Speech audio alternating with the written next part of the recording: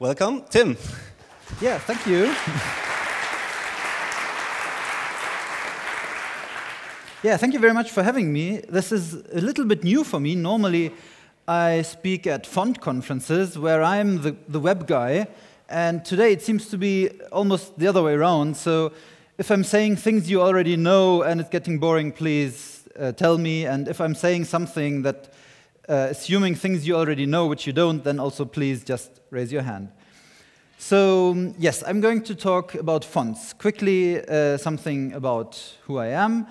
Um, uh, I, am mostly I'm a type designer, so I make fonts. I'm running a little foundry in collaboration with my wife. And well, we produce fonts, we design and produce fonts, and of course it's great if you can do that completely independently, publishing when you want, what you want, making all the decisions yourself. The price you have to pay as a type designer is getting into all these technical details, which for type designers, technology is always more of a hassle. But anyway, that's the price you have to pay, and after I had uh, dug into all these technical things, I thought, oh, it's at least it would be nice if I could use it. And uh, when I was asked by Typekit whether I want to join in, I said, I said yes, of course. And uh, so I'm a consultant at Typekit now. They were last year they were bought by Adobe. And it's interesting. Most foundries know everything about fonts, but before web fonts, they knew hardly anything about the web. And Typekit is that company that comes from the web. They know everything about the web, but for them, dealing with fonts was a bit like uh, jumping in at the deep end. And of course, they got it to work very well. Um, well, I'm a little biased, but I would say almost they got it to work best. And so I'm working at Typekit. Um, at Typekit, also, I learned um, it's very interesting to learn how the web thinks, how the real web people think, because that's something as a designer you're not always used to. At Adobe, they always say, we want to work with the web, not against it. So part of what I learned there will be part of the talk today. But then um, being well behaved is not always as much fun as being not so well behaved. Sometimes hacks are nice, hijacking something is nice. So this is a project I made for uh, FontShop International that's called the Font. I can show that live. So it allows you to hijack any website and display a, website in a different font. So paint any external website in a different font. So I'm not criticizing the font choice, by the way, here of the official website. I'm just showing what would it look like if instead of the officially used ones, I think it's Myriad and Meta Serif, you could say, oh, I want to see the sans serif in basic Gothic and uh, the text um, face TisaWeb. Or let's see what that looks like in Meta, well-known font, font fonted. So you can browse the web in um, the fonts you like. That's one project, but let's get back to the more, um, uh, the more sober details. So we're talking about uh, web fonts. What are web fonts? That's when the fonts and the web get together. Are web fonts much different from normal fonts? Not really. It's mostly about, well, you know, packaging. I don't know whether you've experienced that. You order something on the internet, and yeah, somehow they put one box around another box around another box, and you wonder why. Um, well, I can tell you, at least with fonts, it's similar, but all these wrappings make more sense. So, what's a font? A font is basically a bunch of letters, plus, of course, extra special characters. Add a header, for example, an OpenType header that includes names. A font does not only have one name, although you think it should, but for historical reasons, there are lots of so-called names records. And then OpenType fonts can have OpenType features, for example, small caps or um, ligatures, old-style figures that define uh, when you switch to a different set of figures, for example, um, define which glyph is supposed to be substituted with another glyph. So you've got the header and the glyphs, and give it a name, .ttf, TrueType font, and you've got the font. Um, TrueType fonts have OpenType headers, so do OpenType OTFs. So we've got two different flavors of OpenType, really. One is called the TrueType flavored OpenType, and one is called the PostScript flavored OpenType, or sometimes called CFF flavored, because in its belly it contains a PostScript font, really, that is then compressed again um, using the so called compact font format, CFF. So it is contained within that. Um, so we've got OTF and TTF. They are the standard formats for desktop fonts today. And in fact, you can use them as web fonts as well. You can easily use a TTF or an OTF and use it on a website. That's no problem at all. But we are talking about real web fonts, of course. For example, EOT, that's Microsoft Embeddable OpenType. But it's not really completely different to TTF. Um, when an EOT is generated, all that the program does is it adds a little header, a wrapper, and then the TTF is compressed using a special proprietary compression algorithm, and that's it. So the font is not really decompiled or disassembled and then reassembled into something else, and uh, it's a web font, but it is really just a normal font with a wrapper around it. Similar in the case of WOFF, again, you've got the header, uh, you've got the font is compressed. Uh, WOFF has a, gzip compressed uh, font in, inside. And in the case of WOFF, you also have uh, the so-called metadata. Uh, WOFF is still not even an official W3C standard, although it is already widely used and works very well. And one of the things people were really discussing about is this metadata. Um, it's not finalized yet, but it will be things like when the browser supports it, the font con could contain information about like the designer or uh, where you could buy it, and then you can maybe show information about all the fonts on the page. So once that is implemented, it could become interesting. One thing about WOFF is that by just looking at the file ending .woff, you don't know whether it contains a TTF, a TrueType flavored font, or an OTF, a PostScript flavored font. Um, so from, from the file ending, uh, you couldn't tell. So uh, why do we have web fonts? Why don't we just use the plain fonts? We could.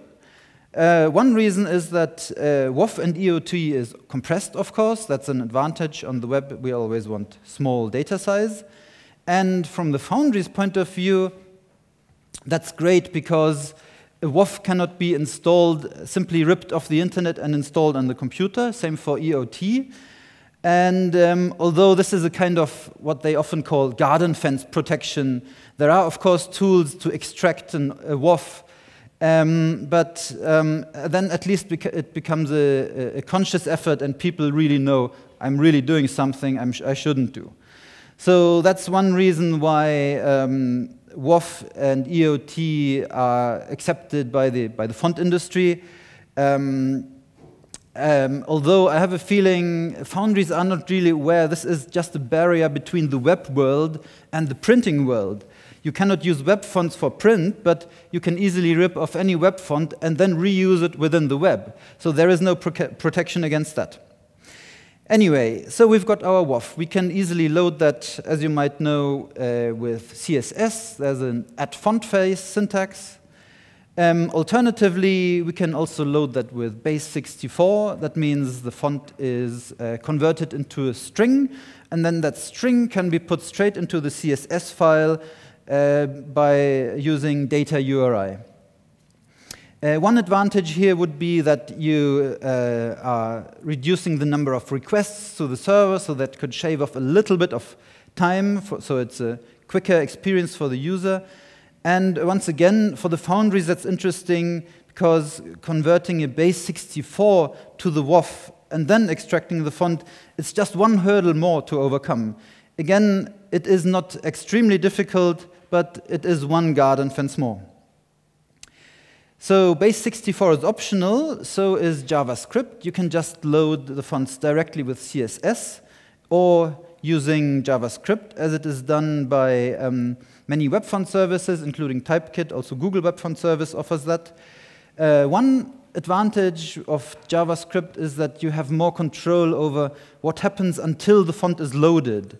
Do you want a, a fallback font to show? That looks sometimes a bit ugly. That's called the flash of unstyled text, FOUT, when you have maybe one second of the fallback font and then it switches, so you can just say display nothing. And another uh, advantage of using JavaScript to load the fonts is that you have different formats, as you know, EOT, WOFF. Some browsers still need plain fonts. And who makes the choice uh, which font the browser gets? If the choice is made by JavaScript in the browser, then the server doesn't need to make the decision. So it's a bit like saying, I'm going to McDonald's, and then at the till I'm saying, one Big Mac and a Coke without ice versus saying, oh, good morning, my name is Firefox Mac, and then the guy behind the counter says, ah, good morning, Mr. Mac, uh, let me see, oh, yes, I know what your favorite is. Oh, uh, would you like ketchup today? So that takes lots of time, of course, and if you serve really, really lots of fonts, then it is very handy if you can just transfer some of this computing that's necessary to make the decision um, to, the uh, to, to the browser and away from the server. Finally, um, as any static data, uh, fonts are static. Um, they should be served as gzip. I have a feeling I don't need to explain to you how that works and what it is. So lots of layers here around the font. Um, now I'm running out of space. Let's have a look um, at the browsers. The browsers unpack all that stuff. It works really well. And, um, but the problem is not all browsers deal with the fonts in exactly the way. Hmm. Sounds familiar? Anyone who's made a website before? So we are dealing with the same problems as any website makers. The fonts, um, the, the modern browsers do really what we want browsers to do, but the old browsers don't. So I like this analogy here with that herd that moves on, but it doesn't move on as quickly as we want. But there is movement, there is improvement. Here, um, nowadays, we can um, reach more than 95% of the browsers with WOFF and EOT, with the two real web fonts that are safe enough uh, for the foundries that the foundries would give to you. Um, so that's quite an improvement. Um, but uh, we cannot do completely with WOFF. Of course, that would be cool. Just really one font file, one WOFF for all browsers. And one of the main things that, uh, again, is lagging behind is Internet Explorer here. Internet Explorer 8 is now, has now become the kind of boat anchor that keeps us from, from traveling into the future and progress. So anyway, what can we do? We, at least with WOFF and EOT, we reach many more than two years ago. 2010 was kind of the, the big bang of web fonts when browsers started uh, supporting web fonts at all. And um, so compared to that, we can already reach uh, the people with WOFF and EOT quite well. Uh, which means that foundries that hand out uh, and EOT only, they tend not to give anyone raw TTFs with which you could cover more or less all browsers. So that means uh, self-hosting services are becoming more popular um, the more people you can reach with WOFF and EOT only. Speaking of self-hosting, what exactly does he mean? There are two types of using fonts. One is going through a service. That means you simply paste one simple line of code into your HTML document. Either it's a link to a CSS document or a link to a JavaScript. As I said, not too much difference really. And the other option would be self-hosting, so you go to the Foundry and you purchase font files like you would purchase desktop fonts. So you get a WOFF and an EOT, and that is more or less probably a, a, demo CSS to tell you how to do it. And it's not really that difficult. So these are the two options, self-hosting and services. And uh, Peter Bilak offers both. He runs his own service. Actually, Typotheque was the first commercial web font service at all. And he feels that uh, people are more and more interested in doing self-hosting because you've got the fonts on your own server. So people, developers, just feel better with that. Yves Peters even goes one step further and he said, well, he said one year ago that once uh, the browsers will support WOFF and EOT, uh, the web font services will be completely obsolete. Um, now, we do have that situation that WOFF and EOT is supported by all browsers, but, well, the, the web font services are still around and they are still very popular. And in fact, hardly any of the foundries is offering self-hosting fonts. You have, I don't know, you're, um, if you're not so into fonts, maybe you don't know that, but there are hundreds of foundries nowadays that are publishing thousands of fonts every year. But I couldn't mention more than, say, five foundries that offer fonts for self-hosting. Um, the reason maybe is that simply still web fonts are new for foundries, and maybe foundries are not taking them that, uh, for that important yet, and producing them is still a bit tricky. Jeremy Tankard, very uh, good designers, designer. Um, the problem is you don't have any font editor yet that does one push, push of a button and you've got your web fonts. The reason is that uh, FontLab, which is the kind of still number one font editor around, unfortunately, the current version is uh, five years old now. And then there are two very uh, promising looking new um, font editors that emerged last year. One is Glyphs, one is called RoboFont. But somehow these makers, I mean, they know everything about fonts, but they're just not so interested in web fonts. So their font tools don't have any WOFF or EOT export. Anyway, so back to the font. Um, now we've looked at all this question of how they are made, how they are served, but what really counts in the end is, of course, how they look. That's what we're interested in. How, how, what does it look like in the browser? And for that question, uh, none of that is really important, whether you serve it as gzip or as WOFF base64 JavaScript it will render exactly the same.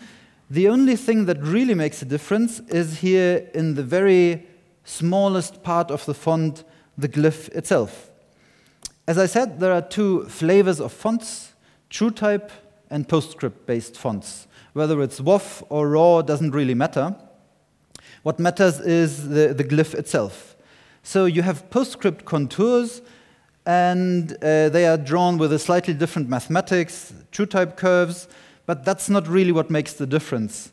The computer doesn't mind whether it um, rasterizes uh, cubic Bezier curves or quadratic ones. That's not the real difference. The, really, the, the real thing that matters, that's conceptually very different, is the hinting. PostScript fonts contain so-called hints. That's each uh, glyph contains a little bit of extra information here, like these green zones, that say to the rasterizer, look, that's, let's call it a stem, okay? This is a stem, that's a stem, that's a stem. Now go ahead and rasterize that, and please make something sensible out of it. So the, the term hints is really uh, quite appropriate, just saying, look, that's a stem, you know. Uh, TrueType works quite different. Uh, while uh, PostScript has a very uh, rather abstract glyph and assumes a relatively smart rasterizer, TrueType has very specific, they are often called instructions, not hints, which is almost better because that's what they are. Very specific instructions that tell the rasterizer exactly what to do, how to tweak the shape as it is converted to pixels. So you have a smart font and a not so sophisticated rasterizer, that's the concept of TrueType. By the way, Apple renderers completely ignore any hinting in either system, but on Windows, uh, that still matters. So once again, if you have a WOFF, it could contain either flavor, we don't know. EOT, on the other hand, can only contain TrueType. So, next subject, rendering. As I said, um, hinting has a great impact on rendering. What does rendering mean? We have to somehow convert our abstract, infinitely precise curves somehow into pixels. The most uh, obvious and historically the oldest uh, system would be just black and white pixels, as you know. Then uh, in the 90s, people said, ah, yes, well, on screen, the screen doesn't have such a good resolution, but unlike print, we can control the brightness of each single pixel, so we can somehow uh, get more information into this image. And um, so the stem thickness and the details, they are somehow expressed using anti-aliasing, using gray pixels, with the result that in large sizes, these nasty steps disappear. It's just smooth. And in smaller sizes, you just see a bit more of the original design. Uh, the third kind of generation of rendering is subpixel rendering. You always see when you take a screenshot and enlarge it and something is colory, then you know that's subpixel rendering. So why, why do colored pixels look better? Why is that done? We have to have a look at the physical properties of the screen to understand that. So you have uh, RGB screens, of course, red, green, and blue. And these red, green, and blue parts of each pixel, they are sitting side by side. They're not on top of each other. The three subpixels are one after the other. So one red, green, and blue oh, together forms one pixel. And if you take a, a magnifying glass, I mean real physical magnifying glass on your screen, you can see uh, that's what it looks like. And I'm, I was quite surprised to see that there isn't even any grouping of this red, green, and blue of one pixel. It is really evenly spaced. So it is an obvious thing to say, well, we are not interested in pixels anymore. We just switch on uh, or off every single subpixel. So what looks like that uh, in, in an enlarged screenshot is actually that on screen you have RGB stripes and you switch them on and off. So if you have a pixel that looks like it's red, that simply means that if you have this kind of white space inside the P, RGB, RGB, RGB, R, and if R, red is the last one, well, then just, that just happens to be red. So this is obviously how it works. But then looking at that, it's almost more confusing than the upper one, isn't it?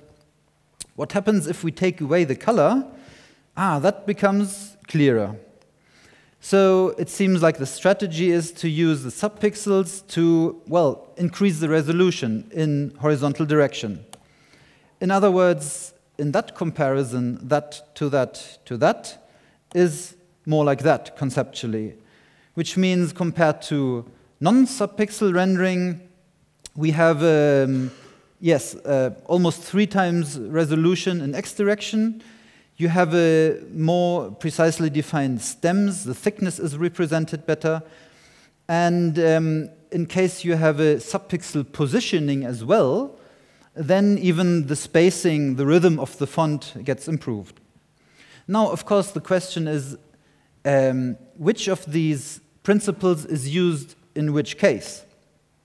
Black and white, of course, printing cannot switch on uh, or half on or off the pixels. It's either black or white. Very old operating systems also have black or white. You, you might even still remember that. The font itself can contain information and say, oh, up to eight pixels, I want to be rasterized in black and white without anti-aliasing. And uh, Windows respects that. And you can even switch off the, the, the smoothing, the anti-aliasing by CSS. That's respected by macOS. Um, then you've got grayscale, normal anti-aliasing, which is used in Windows since 95. Back then I was a Windows user, so unfortunately I don't know since when, um, since when uh, macOS does that. Uh, the Flash player also does uh, grayscale rendering, uh, no subpixel rendering, so that's one small argument again for web fonts as opposed to Flash because the rendering is just a little bit more well defined. And iOS also doesn't do uh, subpixel rendering. I can only um, make an assumption why. It's probably because as you rotate the device, if you had subpixel rendering, it would constantly have to rethink, of course, because the thing, the physical thing rotates. So I assume that's why iOS doesn't do subpixel rendering. And of course, the current versions of Windows and macOS have a proper subpixel rendering. and also the Adobe Reader. And the interesting thing is that an Adobe Reader, if you then rotate the page by 90 degrees, it does actually rethink the subpixels. And then you suddenly have a, like a, an increased uh, resolution in Y direction. So that's quite interesting to see. Um, now I'm showing this one here just as one image for macOS or Windows, but um, well, as you might have heard, Windows and Mac rendering is not exactly the same. Um, let's have a closer look here. We see uh, in bigger size now, uh, that's grayscale rendering by Apple and subpixel rendering by Apple. I didn't manage to get it somehow to exactly the same alignment and, and height. That's why it looks slightly different here. So subpixels give us more smoothness here around vertical um, curves. And uh, the grayscale version just looks a bit more pixely, um, but it's still smooth. Uh, one more thing about all Apple rendering is that looks like the underlying ideal shape here was just a little bit higher than that pixel. And because it is just a little bit higher, that is reflected with this sort of gray line of pixels. Um, let's have a look at Windows. Again, Windows grayscale looks uh, very similar as we could expect it. And then ClearType, ClearType is just another, is just the name that Windows, uh, that Microsoft has given to their subpixel rendering engine. And what we can see here is again uh, increased resolution here in X direction. But then there's something very strange going on. It seems like someone thought that it's a really good idea to switch off smoothing altogether in y direction. So what we have is a kind of hybrid of very high resolution um, subpixel rendering and black and white logic in the vertical direction. The result is a bit unfortunate because if you have, especially you see that in large sizes, you have these nasty steps um, sort of, in a way, it's a step back compared to the grayscale, especially in large sizes. Um, and that doesn't have anything to do with a lack of hinting. I think that one here is Georgia, which of course has an absolutely perfect TrueType hinting. So um, yes, what can we do? But even Microsoft realized that was not a good idea. And in its latest version of DirectWrite in the uh, of ClearType in the DirectWrite, that's the new uh, graphics API. We have um, smoothing in both directions and subpixel rendering. That's great. And uh, as you can see, um, you still ha you have this. You have a proper black and white here uh, not a fuzzy gray line on top like on MacOS. So in the end, I would almost say DirectWrite is at the moment the best rendering you could possibly get. Unfortunately, not many browsers really use DirectWrite. Most of them are still based on um, GDI. Uh, the only browsers that, that uses uh, DirectWrite is uh, Internet Explorer 9, and well, in Firefox, you can switch it on if the user activates it, but I doubt really many of the users do that. All the other browsers still use, um, uh, still use GDI, unfortunately. So um, there's not much we can do. We can, you know, it's not really fashionable anymore to say, please view this page in this or that browser or even operating system. But there's one thing at least we can uh, do from our end as a, as a, font maker or as a website maker.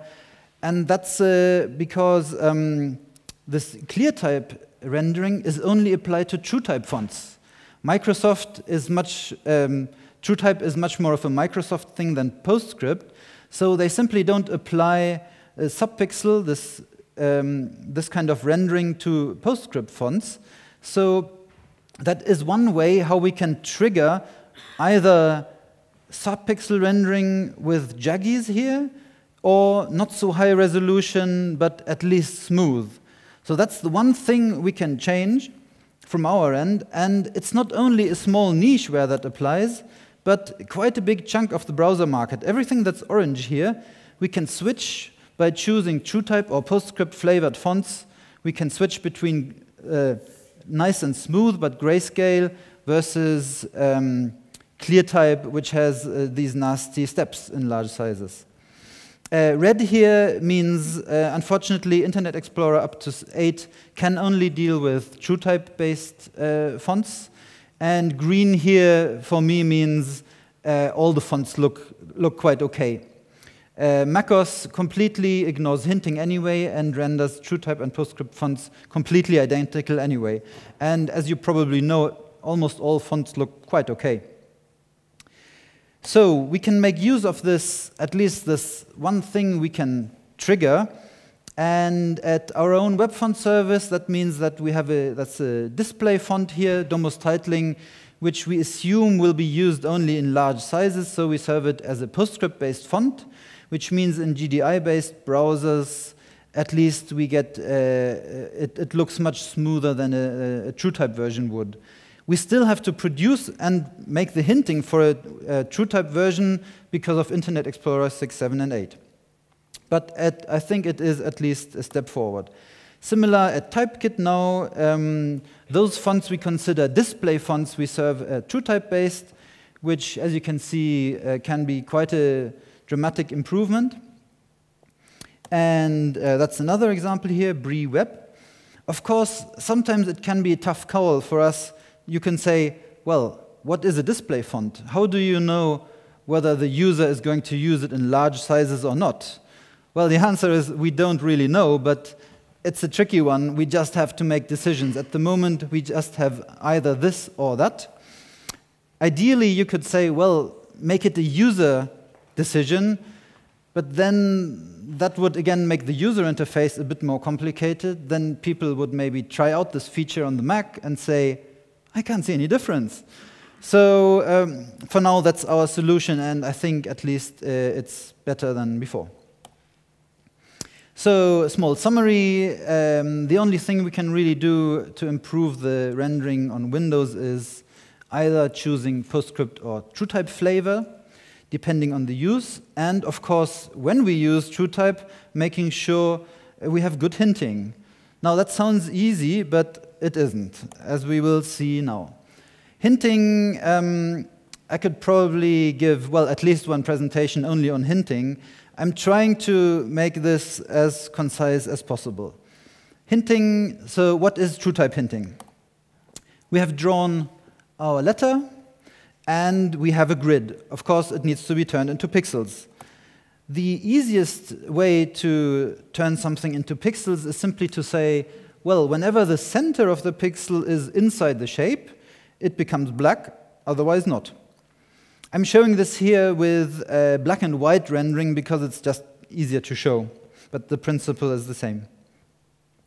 So uh, that doesn't look that great. Um, maybe if we were really lucky, we could actually get a symmetrical O, um, but we aren't. Normally we aren't lucky, so hinting is kind of about avoiding, uh, well, it's about not relying on your luck.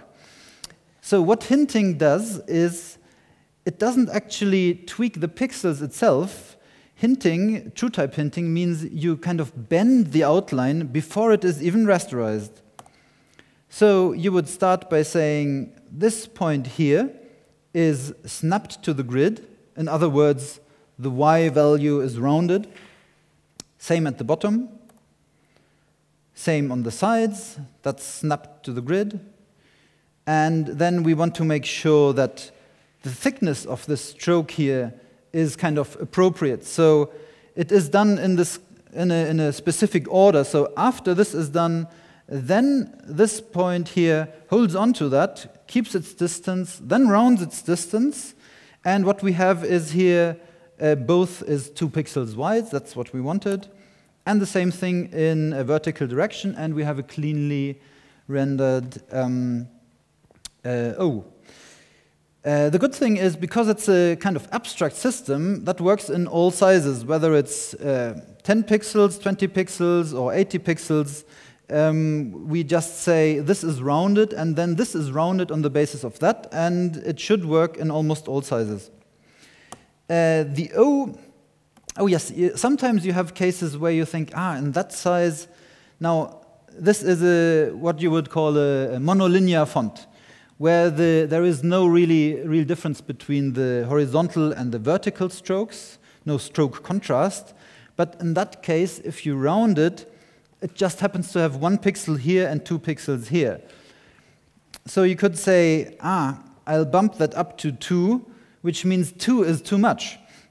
In that case, it's very good if the, the one who hints it is the designer himself, as, as it was the case here, and then you can simply make a decision and say, I'm the designer, I'm making this design decision, I want it to be two pixels, or I want it to be one pixel. You have these kind of um, categories here, so you can link each of these things to one category, and then you've got your global, font-wide kind of remote control for all these links, and then just say, in the whole font, uh, at 16 pixel size, that should become two pixels thick. So that's the O. That's a fairly simple one. Uh, it can become a bit more tricky if you have something like the R. You can have fun playing around. The green I here is an interpolation that keeps its relative position between these. Then it is rounded. Then we have the link down. And then we have another interpolation here. So you can have fun there while you're hinting. You can say, ah, let's play around trying this one here first. And uh, now you can see why not all the fonts in the world are hinted yet. It just does take some time. And sometimes you'd also face decisions like the stroke of the R here in some sizes, well, it can only be too high or too low if it's based on whole pixels. And again, as a designer, I can just say, I think too low is a bit better. The E um, here, similar, you can um, play around. Sometimes it's interesting to say, I'm not interested in the stroke thickness, but the relation between black and white. And then we're getting very close to what type design ultimately is. It's about white shapes and black shapes and the relation between white and black. So you're kind of turning the logic of the design into these um, instructions here. One aspect is uh, the so called overshoot. The rounds of the letters are typically drawn in a way that they slightly go underneath the baseline because it looks better. But then, if, it is, if that happens at a small size and it becomes one pixel, that just doesn't look right, does it? Here, that A, how the belly is hanging down, so you need something that's called overshoot suppression. On the other hand, you can't simply say, I always suppress the overshoot, I always push that up onto the baseline in larger sizes, you do want the overshoot. So the question is, where is, well, the threshold? Uh, so you can say, here I've always got overshoot, here I've completely suppressed it, up to which size, uh, or from, from which size does it look right to have one pixel overshoot? So in the small sizes, that looks wrong, that looks better, but in the large sizes, that looks a bit funny, and you do want an overshoot. So, what do you think? At which size do you want to allow the overshoot? Anyone? 50, 52? Looks like you have exactly the same opinion as me. So I chose 52, which means ultimately that's the behavior of the font. So just one single value, but I think it's very important to set that really carefully. And sometimes I see fonts that are well designed, well hinted. Oh, and just the overshoot they just didn't set carefully, and then you have these bellies hanging down. That's a pity. So I think that's really important. Here, once again, something we kind of knew already, uh, not well hinted or completely unhinted font in that case here looks funny. We are, we are always somehow unlucky. This one, just by coincidence, has two pixels thickness. And if it's hinted, it looks okay. It looks a bit strange and pixely there, but in real one-to-one -one size, that looks quite convincing. So yes, in text sizes, we definitely need hinting. And you might say, yes, but in large sizes, the resolution is high enough, isn't it? So for, for display sizes, we don't really need hinting, do we? The answer is, ooh, unfortunately, we still need hinting in large sizes because if you have this uh, curve here, and then just, just by coincidence, one pixel just still fits in here at the highest point, then it just looks um, quite nasty. We, we call them warts at TypeKit. So um, hinting is necessary even in large sizes, unfortunately. As I said, these nasty steps from, from ClearType, even the best hinting in the world cannot um, make go away. So at Typekit, um, not all of our fonts are hinted yet. Um, it just, it, it's just a matter of, uh, it takes lots of, it's very labor intensive. So what we do is at least we indicate, we've got this button here, recommended for paragraphs. That kind of means from a technical point of view, that's the hinted fonts. These fonts you can use in small sizes and on, on Windows and they will look okay. The other way around, you've got the one that's called recommended for headings, and that's the fonts that we serve as PostScript. So um, that's the fonts you, can use in large sizes, and they won't show the, the jaggies. Um, yes, but in the end, don't only rely on the buttons, you still need to test, test, test, which means testing on Windows, because, um, as I said, on Mac, kind of everything looks quite okay normally. Uh, ideally, it would be cool, of course, if you could design and test directly, choose the fonts in the browser. Uh, that is the case here in uh, WordPress.com. There is a collaboration with Typekit. And, um, but that's not really, of course, a tool that's used by, by professionals. It's more for laypersons. And uh, including uh, hints like, oh, this font here is not supposed to be for small sizes. Please only use it in headlines. Who knows? Maybe someone would use it otherwise. Or here, uh, about.me. I don't know. Do you know about.me? I think it's a nice site, very simple. You can just make a one page for yourself, uh, edit visually, and uh, choose different fonts, and you see it instantly. So if you design your about.me size on Windows, then you already see uh, what the font looks like. Talking about families, I'm talking about font families, of course. Fonts are nice, even nicer if you have several styles of them, bold, italic, you know what I mean. And they can have even more than just bold, italic, and bold, italic, and regular. Um, for example, extra light, light, semi-bold, and so on. Um, unfortunately, not all applications uh, understand that a font can have more than four styles. Many of them do, like all the Adobe apps and all the Apple apps. Okay. Um, so, but Microsoft uh, apps don't understand that. So you have to play tricks and uh, make the, the extra bold appear as a separate family, for example. Um, on the internet, everything is much easier because you assign the, the font weight only as you load it anyway. So you have normal or bold. And there is also the possibility to use numbers instead. So 400 is def, def, by definition normal, 700 is by definition uh, bold, and that allows you then to use uh, several weights in one family. Unfortunately, not all browsers understand these numbers. Microsoft, I'm looking at you. So one, one workaround would be to simply load this as a separate font family. Um, this is not absolutely working with the web. It's not entirely semantic, but at least as long as you make sure that, for example, your sem semi-bold is defined as bold and not as regular, then in case your font is not used, you would end up with a bold. Next subject, glyphs. A font is, of course, made of these little drawings, the glyphs, the characters.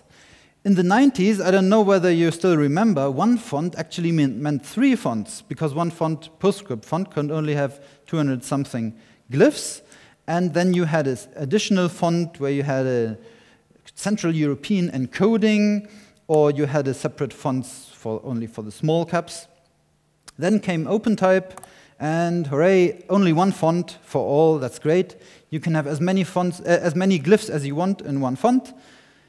And the, um, the small caps are activated by OpenType features. These OpenType features, they also work in CSS. You can activate, you need to just know this um, standardized four-letter code, SMCP, small cap. And uh, if you see that in the browser, you can see real small caps and real old style figures. At least in Firefox. Unfortunately, Other browsers don't, under, uh, uh, don't uh, support that yet. Um, now, until uh, a few months ago, I would have said, yeah, you know, uh, even Microsoft Word doesn't support that, so forget about it. That won't take, that will take a while. But believe it or not, Microsoft Internet Explorer 10 properly supports all the OpenType features.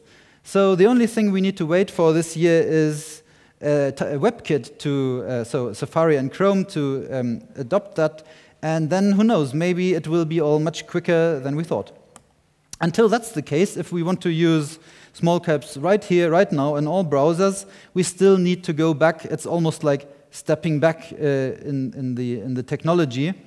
At least we don't need three fonts, but only two, because we can still put all these extra exotic characters into one font here, and we can put in all the characters that have Unicode value, including smileys, arrows, you can see, for example, on Twitter, at least uh, the, in, the, in the kind of the font geeks, they love to play around with Unicode values. Of course, Twitter only, only allows raw text as an input, so everything you see here has a Unicode value and can be semantically correctly encoded in a font. Here someone uh, has a star, a star of the week. This guy here even has a little uh, um, shining sun. I don't know whether he updates that when he's in a bad mood or... Um, so anything that's, that doesn't have a Unicode value, that's tempting to play tricks. For example, there's a font here that's just a few weeks ago. They have the states of America, A, B, C, D, E, and if you switch to that font, you get the states. It's just one problem. If you read that in like Instapaper or Reader, it shows A, B, C, D, E. And well, at least they are aware of that problem here, so you can't blame them for that. So um, it's always nice to play tricks, and hacks are cool and fun, but that one here, I would say, no, don't do that. Another thing here, ligatures. Ligatures are where two characters are joined into one shape, and it is defined in the font itself. You say F followed by I, replace that with the FI. Here you've got a website. I'm loading the font here, that's in that case my own web font service, and what you see here is just some CSS that's loaded, as you could look up if you want. And on the website here, we can see FI works very well. And um, we had that talk about um, accessibility uh, earlier, which I found very interesting, and it is very important. So how about what if we copy and paste that? Uh, here, I've pasted it in here. Yes, it works. Another test here, Chrome, yes, it also works the same. In Chrome, it only works because in my CSS here, I smuggle in this CSS thing, optimize legibility, um, and that switches on the ligatures in Chrome. Um, another look, oh, Internet Explorer doesn't work. But then Unicode to the rescue. As I said, uh, the glyphs have Unicode values, also the ligatures. So we could simply say FB001 is the FI. We can enter that in our source code, and wow, it does work, even in Internet Explorer. And another test about copy and pasting. What happens? I'll paste that into the text editor here, and it looks quite funny because it's a uh, monospaced font. You can see it is literally one character, FI. And that, in a way, the browser is doing exactly what it should do. It is preserving the raw text. But it is completely wrong. It looks right, but it is wrong. I don't know what the screen reader does with that. I don't know what the Google robot does with it, or maybe some other things that we don't even think about at the moment. So again, it's a hack. It looks right, but it's wrong. Um, I'll quickly skip that one. Here's another hack. Say, if you want to use this alternate A with a tail. Unfortunately, we don't want to rely on OpenType features, so one possibility is to say, I'll simply build one font that contains only this alternate A with the tail. And by the way, that's a font that contains only the small caps. So this is a tiny font file that contains only one font, uh, one glyph. Then you can load that here using font face, This is some font with the alternate A, and then in that span here, you use this one here, and now it becomes interesting. You use this, you surely know that when you define several fonts in a row, saying use that if the first one doesn't work, and then you've got comma Verdana, comma Arial, comma sans serif, and so on. So we're using that system, but not only as an emergency, but we know exactly what is going to happen.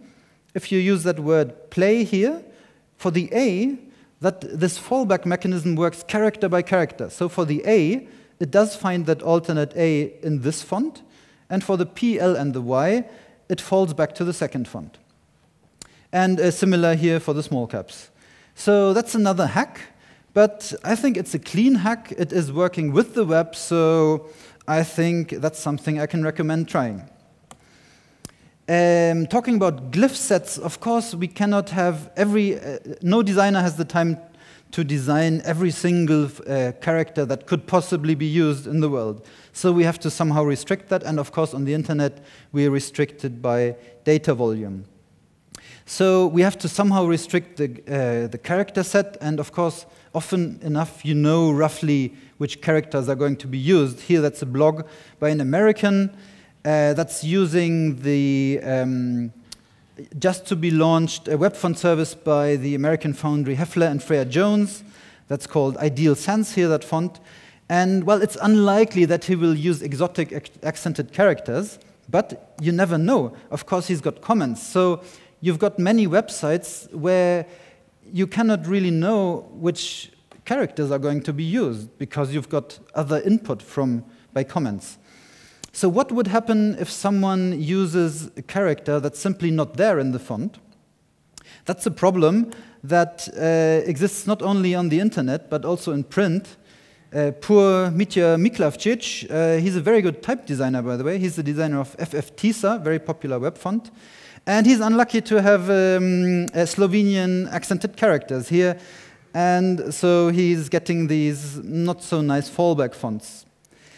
Um, similarly, on the web, assuming that's our source code, that's normally what would happen. It will, if you specify that font ideal sans, comma Verdana, of course you would choose something that looks kind of the same. You would get this. Hmm, not ideal. But there is a special trick here that uh, Hoefler Freya Jones apply. They simply take the C, the normal C, and give it this code of the C with this háček um, in addition. So the C jumps in and say, oh, I can do that. So of course, it looks much nicer. Um, but it is a bit debatable. If you look at something like Polish here, um, again, here you have this, this is how it would work normally. Here it's with their special trick. You use the normal E, and uh, well, I'm not so sure about Polish. One thing I can definitely tell, you've got one real character in here, but that one isn't, so that already tells me it's not, not ideal. And um, I don't know how important these are in Polish, but uh, so I asked uh, Adam Twardoch, he's a, he is Polish, and he happens to be one of the best font experts in the world, and he said, no, that's going too far. And one thing he also pointed out, which I find very interesting, that's something like it's, it's happening behind your back. There is no notification. If there was a hack when the font could tell you, of course, it's impossible, but if the font could tell you, warning, here something has been tweaked, um, but it, it, there is no notification. So that's a hack that is really, I think, going too far. Similar here, Tokyo ideally should be written with these bars over the O because it's long, it's Tokyo. Uh, but everyone has seen this so many times without, so we know what it means. But then you've got something Yuki, that means uh, courage or bravery, and the font simply turns it into Yuki, which means snowflake, or which means snow. So the font is kind of changing the meaning, which probably isn't right. So I'm not sure about this. It seems like an interesting, interesting trick, but so maybe it's not really thumbs down, but you know, that one at best. So, very quick, just the future. Um, I'm trying to, um, at least as a font designer, um, I'm now aware that the, currently the font I'm designing, which is literally that one here, uh, it's the first time I'm really aware that probably it will be used more on screen than on paper. Maybe not instantly when I start selling it, but in the next few decades, hopefully, it will be used. Uh, it will be read more on screen. So I'm also testing it on screen. Of course, I still do my printouts, but it's really convenient. On Firefox, you can just say, use my font for any website, no matter what they say, and I can test my font every day. I can just read the internet, uh, read the news in my font. I've got very well designed layouts, of course. I can see it in real life. And if I forget for a second that this is only in my browser, I can even dream that the whole internet is using my font. anyway, so the question is do I, does it really affect my design, testing the font online? Um, there is surprisingly little I can actually say there is screen specific design. There's one aspect, though, that uh, I noticed. Here I'm showing, you surely know that font. That's uh, Verdana, very good on screen, very readable. But this is not the real Verdana. There's one thing I manipulated. Does anyone know? What's wrong about it? I made the word space too small. So this one down here, that's the real Verdana with proper word space, quite generous. And here this is what I just did as a demonstration. So one reason why I think Verdana is extremely readable because it has a very nice, generous word space. So you might have a font that uh, just somehow doesn't work well on screen and you don't know why. Maybe it's just the word space. So you could just try bumping up the word space and maybe magically it will certainly be, uh, suddenly be readable. Increasing the word space is possible with CSS, that one here, word spacing. And uh, I can really recommend don't be shy, you know, play with your font, it's yours.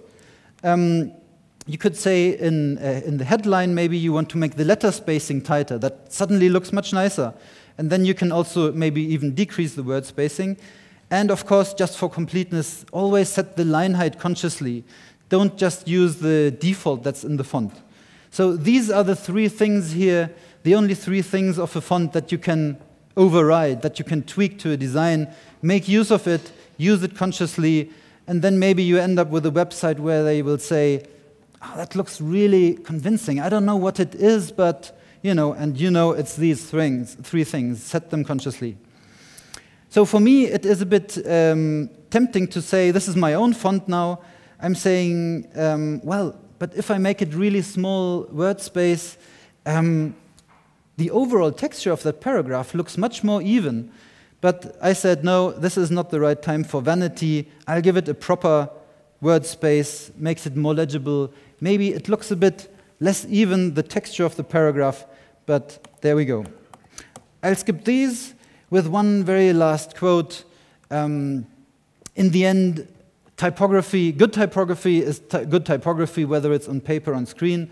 If you want to get into it, you can easily just get a, a a guidebook or make a course on normal typography and apply it on the screen. In the end, the way our eyes work is uh, still the same. That's it. Thank you very much.